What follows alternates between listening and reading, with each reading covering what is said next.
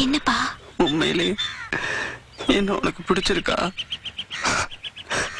பிடிச்சிருக்கு. ஐசு நான் உன்னை கேட்டா தப்பா நினைச்சுக்க மாட்டல்ல சொல்லு.